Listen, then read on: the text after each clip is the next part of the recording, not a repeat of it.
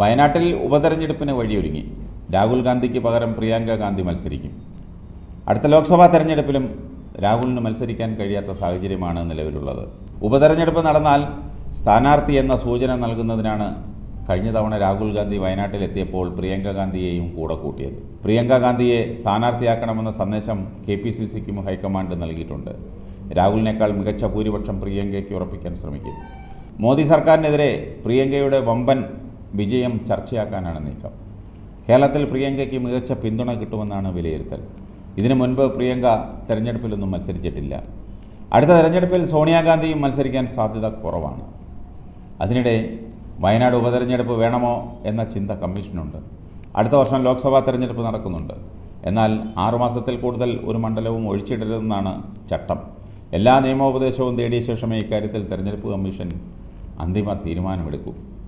B J പിയുടെ നിലപാടും നിർണായകമാകും. വയനാട്ടിൽ ബി ജെ പിക്ക് വേരുകൾ കുറവാണ്. ഈ സാഹചര്യത്തിൽ പാർട്ടി എടുക്കുന്ന നിലപാട് നിർണായകമാകും. കേരളത്തിലെ പാർട്ടി നേതൃത്വം തെരഞ്ഞെടുപ്പ് ഒഴിവാക്കണമെന്ന അഭിപ്രായത്തിലാണ്.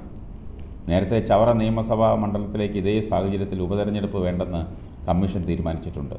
അന്ന് എം എൽ എയുടെ മരണത്തെ തുടർന്നാണ് ഒരു വർഷത്തോളം ചവറയ്ക്ക് എം എൽ എ ഇല്ലാതെ കിടന്നത്.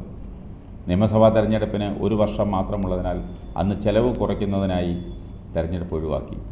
അന്ന് കേരളത്തിലെ എല്ലാ രാഷ്ട്രീയ കക്ഷികളുടെയും അഭിപ്രായം തേടിയായിരുന്നു അന്ന് ആ തീരുമാനമെടുത്തത്. ഇപ്പോൾ വയനാട്ടിൽ അതേ രീതിയിൽ ഒരു ചർച്ച നടക്കുമോ എന്നറിയില്ല. തെരഞ്ഞെടുപ്പ് നടന്നാൽ ഇടതുപക്ഷവും സ്ഥാനാർത്ഥി നിർത്തും. കഴിഞ്ഞ തവണ എൻ ഡി എക്ക് വേണ്ടി തുഷാർ വെള്ളാപ്പള്ളിയാണ് മത്സരിച്ചത്.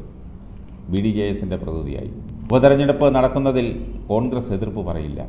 നേരിടാൻ തന്നെയാണ് ഹൈക്കമാൻഡിന്റെ തീരുമാനം. രാഹുലിന് പകരം പ്രിയങ്കയെ പാർലമെന്റിൽ എത്തിക്കുകയാണ് ലക്ഷ്യം.